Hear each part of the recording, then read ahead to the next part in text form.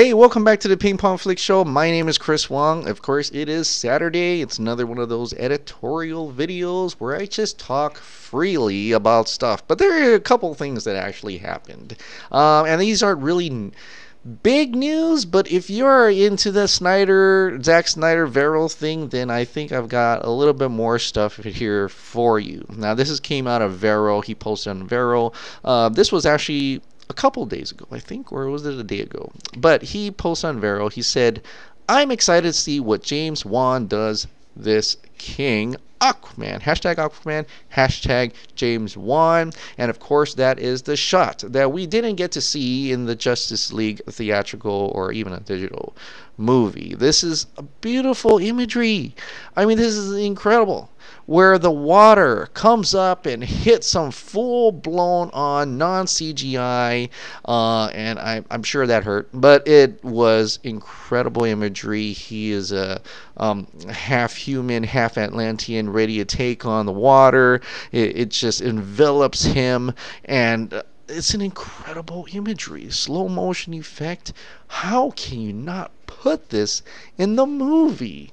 Like how could how could one say let's skip this shot, you know. And and for me, I am an artistic eye, so because I, I, I came from art class, but I like to put the most beautiful imagery into something, right? Uh, rather than take that out. You know, I would rather have put that in, if you know what I mean. It's just visually intense. And um, it worked in the trailer. I can't understand why it's not in a movie. But it's just, I know he's he's rooting for James Wan's and he's telling us to um, be excited for Aquaman, which we are. I am very excited for James Wan's Aquaman. And, and in, in a way, he's also teasing his, his cut, right? Because that's a scene that's not in the movie, and it is exists somewhere. Um, we've seen a trailer version of it, so um, excited to see if anything comes up with that. But I like to uh, think that we had a, I had a little conversation with um, someone over online, and you know, for me on Twitter, um, there's a lot of negativity. There's a lot of people who want to make their case, and I, I listen, I read what their their case is, but I generally can feel, can know that they won't accept any arguments. You know, like if you gave it an idea, your own opinion, and you say, well, this is what I thought about it, they're not ready to let that up and they'll fight for it. You know, they'll fight for it. So um, I made a kind of a deal with, and I won't say who, but I can make kind of a saying that, um, you know, this is what happens when. Um, you a studio trades art with commercial and you know that other person really argued the point about well, it's a three hundred million dollar movie. Of course, it's going to be commercial, and it's going. Of course, it's supposed to be mainstream. And you know, how can you say that? That just being artistic, it's not an art film because it's a big budget movie and stuff. I, I understand that, you know, and I and, and I, judging from all the the tweets he posted, like four or five, and just kept continuing. I was like, oh, I don't think. I don't think he wants to hear an argument for it. He just wants to make his case. So I just let it. I just let it go. So I just like, okay, whatever, you know. And uh, um, I don't need to ruin my day by being argumentative about it, right? Right. So, um, but it, this is how I feel about that, and I understand the whole commercial versus art. Um, this is what I wanted to say about that: is that Warner Brothers is commercial. Um, Zack Snyder is an artist. Okay, um, he went in there not trying to make millions of dollars out of a film. That would be nice. But he's just trying to make a film that he sees in his head. He's an artist.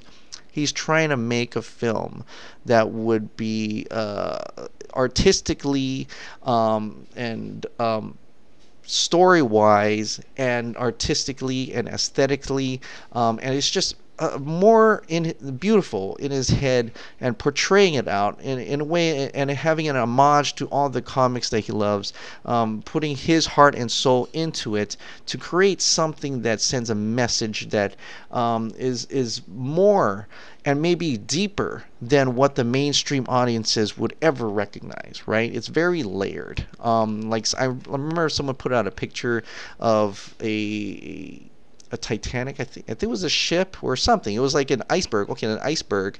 And so what people what many people see above above the water is a small little mountain, right, of ice.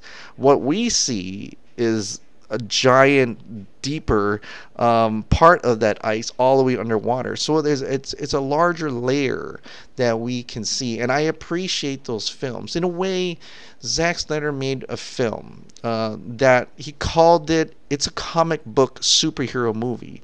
But other people when they see that it's a comic book superhero involving superman and batman and wonder woman is that they're saying well, the genre's comic book superhero y, and that's all we're going to see. That's all we want to see it as its surface level. We're not prepared to see it other than that, and that's why he was so ahead of his time. Uh, we're not prepared to see Watchmen, even though the Watchmen comic is pretty much the same. Uh, is that we're not prepared to see a superhero movie in that type of level with that gore and, and all that stuff, and and having those messages. We're not prepared to see that. Um, but he, Zack Snyder, was not. Uh, uh, was already prepared. He was he is not afraid to show you and ask those questions, like I've said before. Um, he he created an art film. He created a an almost independent art film with a large uh, commercial budget. Okay, and that's where the that's where the problem lies. Is that Warner Brothers wanted a commercial mainstream type superhero movie. And that is ultimately why they hired Joss Whedon because Joss Whedon developed a, a, a comic book mainstream movie that had little bit of comedy in it, had a lot of action in it, but it's very surface level material. Um, it's things that you can watch, understand, and leave the theater without having to delve deeper into it. You just wanted to have a good time. And that's what Avengers was, and Avengers made a billion, over a billion dollars. And that's all the studio wanted. Zack Snyder wanted more. And for people who appreciate that, people who like appreciate Annihilation, who appreciate horror movies that are not surface level horror movies like The Witch, you know, things like that would appreciate Zack Snyder's films uh, a lot more. And uh, I think, uh, and that's where our fandom comes from, and that's why we appreciate that. But so there's the difference between what they did, and I, I'm, and they did do that. They traded his artistic uh, film for a commercial film, which was what Justice League was. Of course, that didn't pan out correctly. Uh, it was too different um, than what Zack Snyder would have done, and it, it, it made it more mainstream. So it made it more easier for people to understand on a surface level. And it created that thing. It created a thing where we have that problem of seeing it to be more Marvel, right? And in a way, it was more Marvel than DC. And like Zack Snyder said, we shouldn't be making, we shouldn't be following their tail. We shouldn't be chasing after Marvel's tail. It should be DC, and DC has now been more, yes, darker, and I, I, I say darker loosely. It's I'd say more real more realistic than what uh, Marvel has done. Marvel has become something else entirely. They've made lighter tone films in, in order to so that your mind just bypasses things that are happening, like like New York being destroyed and everything, and you don't feel the consequences of that as more than what Man of Steel has done. They're both equally destroying cities here, but because Man of Steel brought it up to a more realistic nature uh, in its art form, um, that it becomes too real for the audiences that they cannot comprehend that matter. While in um, Avengers, they made light, uh, light-hearted and heartfelt. It, it, it, felt light, so it, it, was a lighter tone. People were cracking jokes. You never feel that danger, and and that why it never felt really realistic in that sense. And that's why you are able to let uh, buildings go, not knowing if there's people in it. You just let that slide. You just let it slide, and and you know that's how Marvel's doing it. They're doing a lighter tone so that um, it it doesn't have that realism anymore, and that's why your sense of realism is gone. What Zack Snyder's trying to do is trying to bring you back to that realism, um, and that and and for people who can't handle that realism, they just call it dark because that's exactly how this world is, right? um, you can't handle real life, so you want to go into the fantasy world and make light of situations and and able to leave the theater all smiling and happy about it. And so, and that's okay. That's the type of movie you want. What Warner Brothers didn't understand is that that's not the the type of movie Zack Snyder wanted. And if Zack Snyder had came across, um, in which I am sure, in the way he's moving, the, making the movies, why is Warner Brothers continuing that? If you, if Warner Brothers really wanted something else different, then instead of cutting up Zack Snyder's artwork, um, get from the get go, you should have had it right at the meeting. Says that's not exactly what we wanted. You know, at that meeting saying Zack Snyder and Zack and Deborah put out all what they're trying to do. This is what we're trying to go for, and they said no. Then that would have been the end of it. Then it wouldn't. He wouldn't have wasted his his life. you know what? Seven years of his life trying to make something incredible and if they really believed him, believed in him in the first place, like Christopher Nolan, who's also kind of an auteur uh, director in itself, um, he create he does he creates art. You know, he, he doesn't really he doesn't create it for the commercial success. You know what I mean? He's not in there saying, you know, I'm gonna make a billion dollars out of this movie. No, he's going to make a movie because he wants to make a movie that tells a great story. He wants to make a, a movie that's art to him, art to us, and uh, visually, uh, aesthetically pleasing things that comes from his imagination put on to film. Um, that's what he wants. Uh, and he's able to get a publisher who's able to finance that, and and that's what he wants. So he's not there to make he's there to make money, but that's not the first thing in his mind. He's not looking at a film like this is going to be a billion dollars. No, he's he's there to make you know um, an art, and that's what artists do. So that's what I want to kind of split up the difference between commercial and art.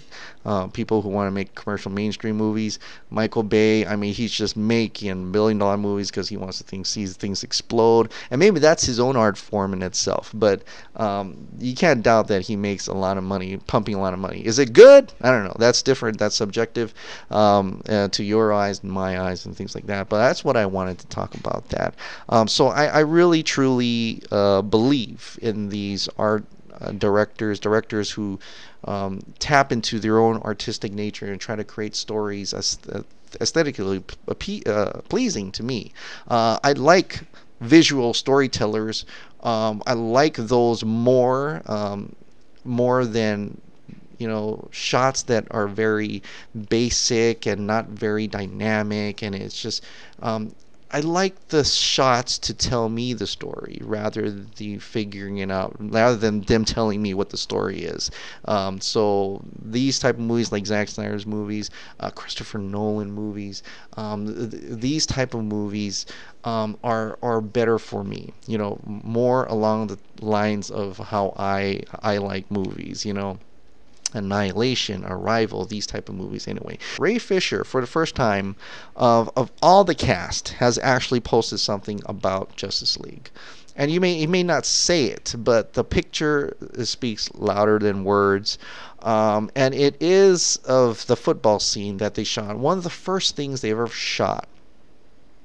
Um, and uh, of cyborg, right? And he's in the base uh, football stadium. He's playing in the football, and and he he posted that picture here.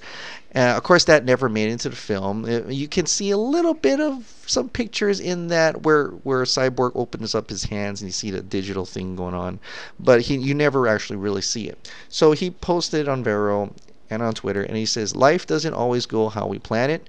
The only thing we can do is keep reaching for what we believe. Hashtag Borg Life, hashtag Love Ray. So, for out of that message, you gotta believe that he really wanted us to see him, uh, his cyborg store. Um, turn out the way that it should have been intended. You know, you see his origin, you see his mom, um, you see his dad, you see how he was before uh, he turned into cyborg.